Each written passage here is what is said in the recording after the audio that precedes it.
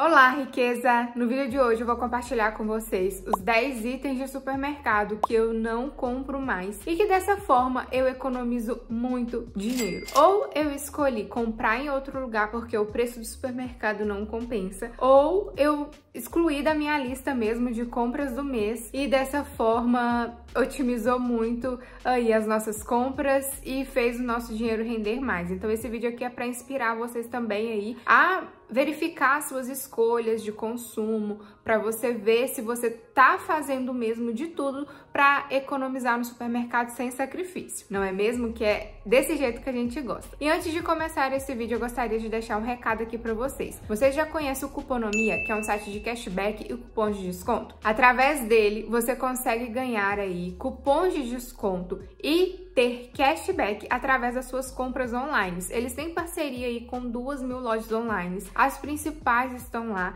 Então eu já utilizo aqui o Cuponomia para me ajudar a economizar nessa, porque os itens no supermercado que estão mais baratos na internet, eu compro pela internet, aproveitando aí o cashback do Cuponomia e dessa forma eu economizo em dobro. Então é ótimo. Se você ainda não é cadastrado, se cadastre clicando no link que está abaixo aqui na descrição, que dessa forma você já vai ganhar aí 5 reais de bônus e aproveite muito para você potencializar aí as suas economias, tá bom? Agora bora pro vídeo de hoje. O primeiro item que eu não compro mais no supermercado é farinha de aveia. Uma que nem sempre acha, é um item bem difícil de achar nos mercados daqui e também não compro nas lojinhas a granel. Tem supermercado aqui que vende coisas a granel que eu até acho a farinha de aveia, mas é bem mais caro, então eu prefiro comprar pela internet, que dessa forma eu consigo economizar bem mais porque é um item caro. E a gente meio que substituiu, sabe, a farinha de trigo convencional pela farinha de aveia, porque ela é bem mais saudável, bem mais nutritiva, não é um item barato barato, mas a gente faz essa, essas escolhas para poder ter uma alimentação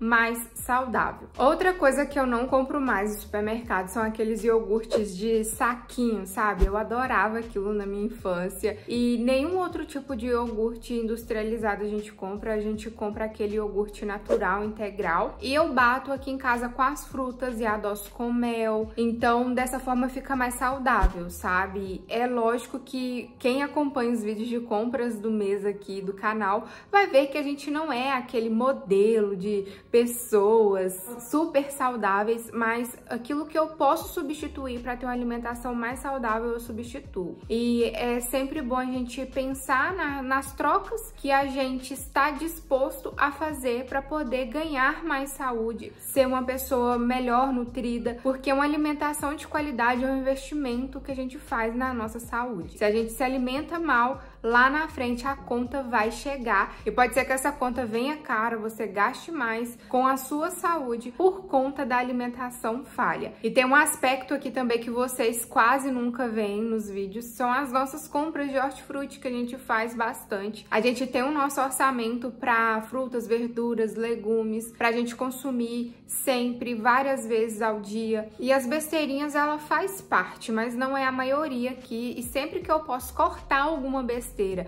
da minha lista, eu corto pra gente poder economizar e ter mais saúde, né? Porque é um investimento, como eu falei. E as besteiras são itens que geralmente pesam muito nas compras do mês. Então a gente deve muito ponderar essa questão, substitua aos poucos, ver o que, que você pode fazer ali para abandonar certas coisas e aos poucos a gente vai conseguindo. Outra coisa que eu também não compro mais no supermercado são aqueles parmesão de saquinho, sabe? Eu acho ele muito forte, é industrializado e não tem aquele real sabor é, do parmesão em si. Quando eu vou fazer alguma receita que pede, aí sim eu compro no supermercado um pedacinho de parmesão, porque é um queijo bem forte, mas que dá total diferença em algumas receitas. Mas se a gente for usar aquele saquinho com parmesão de verdade, eu acho acho que não tem nada a ver. E você que consome aí parmesão, você também concorda comigo que é super diferente o parmesão de saquinho com o parmesão ali, o queijo mesmo, sabe? Então esse parmesão de saquinho a gente já cortou do nosso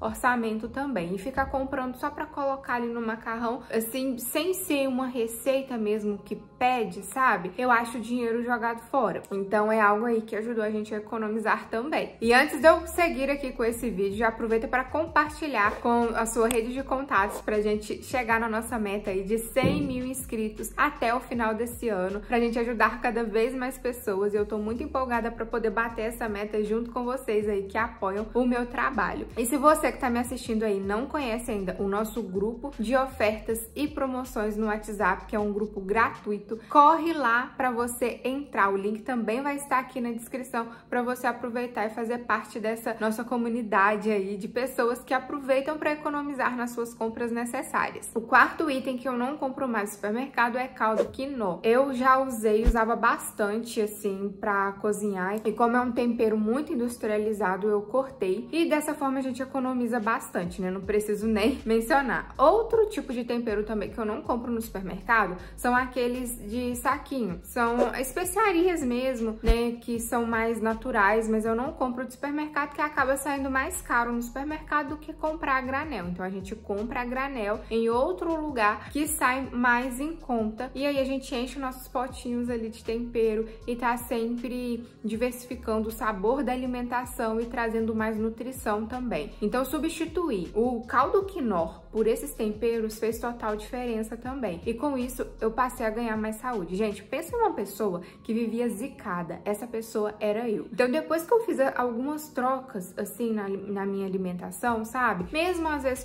consumindo uma besteira, às vezes comendo uma pizza, aquilo que eu gosto, a minha saúde aumentou muito. E eu pretendo continuar fazendo isso, então por isso que eu aconselho quem quiser fazer essas trocas aos poucos, porque é muito importante mesmo. E essa opção de fazer parte do nosso grupo de promoções lá do WhatsApp para te ajudar a economizar é ótimo também, porque essas coisas que eu compro na internet, que me ajudam a economizar, esses itens de supermercado, eu tô sempre postando lá quando eu vejo um preço bom, quando eu vejo uma promoção, para poder ajudar vocês também. Então, bora lá fazer parte que vocês podem aproveitar muito. O sexto item aqui é o chocolate em pó, 50% cacau ou 70% cacau. Essa dica aqui foi muito preciosa, gente. Quem deu foi uma seguidora aqui. Gente, essa dica foi tão maravilhosa que eu não tenho nem palavras para agradecê-la, porque eu não sabia realmente que era bom, que é o quê? Parar de comprar o chocolate em pó 50%, 70% daqueles da Nestlé, aquelas caixinhas pequenas que vem 200 gramas, 180 gramas, e aquilo não dá pra nada, né, gente? Você piscou, acabou. Você fez uma receita, sumiu, evaporou e o trocinho caro, é muito caro. E aí a seguidora me deu a dica, comprar o chocolate em pó 50% cacau da marca Melkin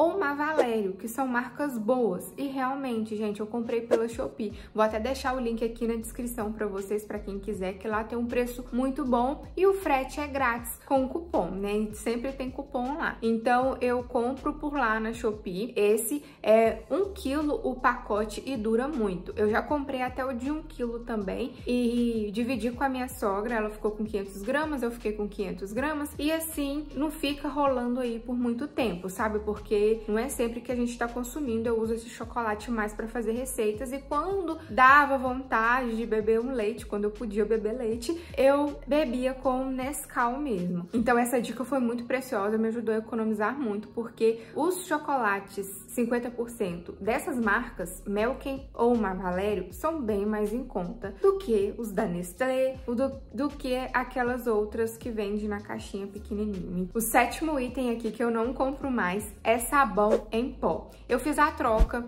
de utilizar, ao invés de utilizar o sabão em pó, utilizar o sabão líquido. Porque o sabão líquido ele é mais econômico que o sabão em pó. Ele não gruda ali na nossa máquina, fazendo com que haja desperdício de sabão. Então ele tem uma limpeza também mais eficiente. Com isso a gente economiza mais. Sabe? Por conta disso. Já nessa pegada aí de produtos de limpeza, eu não compro mais no supermercado aqueles produtos específicos para limpeza, sabe? Veja multiuso, Cif, enfim, esses produtos assim, ah, tem um produto aqui que é bom para passar no móvel, tem um produto aqui que é bom para passar no chão. Não, tem a minha misturinha aqui multiuso, tem um vídeo dela aqui no canal para quem quiser economizar com produtos de limpeza. É só você assistir esse vídeo, vou deixar linkado aqui nos cards e também na descrição para você. E com essa misturinha eu resolvo 80% da limpeza daqui de casa. Limpo o chão, limpo o móvel, limpo qualquer coisa, porque ela é ótima para tirar gordura também. E para limpeza do banheiro eu utilizo água sanitária, detergente. Outra dica aqui também que ajuda muito a economizar é, ao invés de lavar os ambientes com sabão em pó ou sabão líquido, use o detergente, que o detergente é bem mais em conta que o sabão em pó. Então, essa é outra dica que eu tenho aí, uma dica bônus para dar para vocês. Então, aqui eu eliminei aquele excesso de produtos de limpeza, sabe? Para ficar só com os básicos mesmo, que são os que limpa de verdade. Álcool também, que eu não mencionei aqui, que é o que eu compro para me ajudar aí na limpeza e ter um produto para dar cheirinho, que às vezes a gente quer, às vezes a gente sente falta, às vezes eu não sinto falta. E não é sempre que eu tô utilizando ali um produto para dar cheirinho, mas eu gosto muito daqueles koala, sabe? Se você tiver algum aí para me indicar, deixa aqui embaixo também, que seja bom e barato. Só para dar cheirinho assim, que de preferência seja multiuso, que aquele koala dá pra gente usar de vários jeitos. O nono item aqui é shampoo. Eu não compro shampoo e nem, nem outros produtos de cabelo no supermercado, por isso que vocês nem veem aí na, nas compras, quem acompanha esses vídeos aqui no canal, porque geralmente em farmácias grandes ou na internet compensa bem mais, o preço tá bem melhor. E eu tô sempre procurando e comprando aí na promoção, postando lá no grupo para vocês, para vocês aproveitarem também e comparar o preço aí. Tô sempre fazendo essa comparação, aonde fica melhor comprar e sempre em busca de promoção para fazer o melhor uso do meu dinheiro e economizar muito. E o último item aqui, mas não menos importante, que eu cortei também da minha lista, é comprar aqueles coco ralado com açúcar na composição, sabe? Aqueles saquinhos de coco ralado que a maioria no supermercado que vende industrializado tem açúcar na composição, então eu não compro mais. Eu compro o coco ralado nas lojas a granel também, que vem o coco mesmo sem açúcar, então é mais natural, é melhor também porque aquele açúcar que vem no, junto ali com o coco no saquinho acaba alterando a nossa receita. Que às vezes a gente não quer pôr açúcar, às vezes a gente quer fazer de outra forma e o açúcar ali ele atrapalha. Então eu não compro mais e me ajudou muito a economizar, porque também antes eu comprava bastante o querer fazer sempre um docinho, né? E agora eu compro de forma mais intencional. Isso também me ajudou muito a economizar, sabe? Vou comprar somente quando eu tiver a ideia de fazer uma receita ali, ou quando eu estou com vontade de consumir de tal tal forma. Isso ajuda muito a gente a eliminar desperdício. Então, meus amores, o vídeo de hoje foi esse. Eu espero muito, muito que vocês tenham gostado. Aproveito para compartilhar esse vídeo, para deixar uma chuva de likes, que a gente vai ajudar muito muita gente a economizar nas compras do mês, né não? E deixa aqui nos comentários quais itens assim você não compra mais, quais trocas você fez para te ajudar a economizar, que eu também quero saber, porque aqui esse canal é uma troca. Então é isso, até o próximo vídeo e tchau, tchau!